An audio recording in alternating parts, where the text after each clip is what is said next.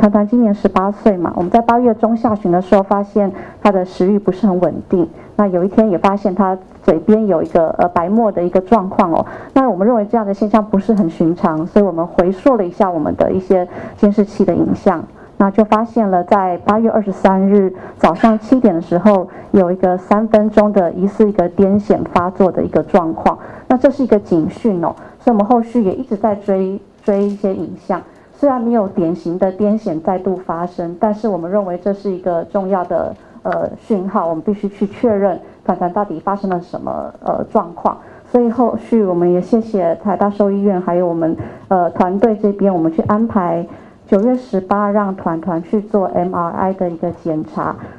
呃，磁振造影的检查，因为这部分才有办法清楚知道他的脑神经有发生有什么样的状况，他的脑实质的状况如何哦。那呃那天的检查就发现，呃，如同我们的新闻稿所述哦，呃，他的左脑叶有部分区域的液化坏死的状况，右脑叶也有，只是范围比较小。那呃相关的检体，我们当时也做了采样。后续也会做一些检验分析，因为这些检验分析的结果可以支持我们去找一些是真正的噪噪音，因为我们现在看到是一个结果，但真正的致病原因我们还需要去做厘清哦。那接下来我请我们的馆长来先说一下团团目前的一个情况。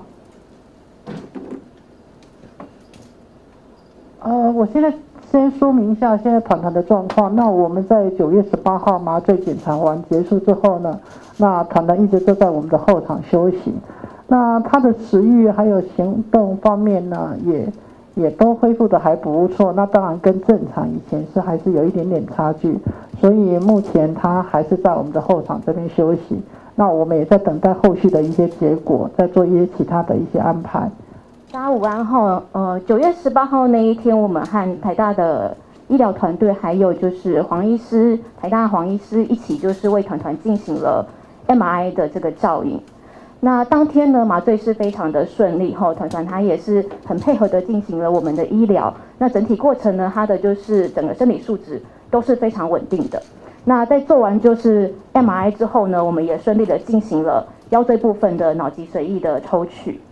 这个部分是我们看到团团他的 M I 的一个影像。那大家可以看到，就是在比较在左侧的大脑的部分，我们可以看到就是在枕叶，还有就是颞叶的后叶，有一个局部比较大范围的异化坏死，还有就是它周围有一些水肿的现象。那在另外一侧，就是在右侧的大脑叶呢，也可以看到就是有局部比较小范围的一块的周围的一个水肿的现象。那推测这跟就是团团它的整个临床症状去比对起来呢？我们刚刚所述就是他所谓癫痫发生的原因，应该跟这个部分有很大的相关。那在后续我们会去进行了抽取脑脊髓液之后，目前已经帮他就是后续的送检。那现在就是等待后续的这些议题分析，我们会收集他的一些结果，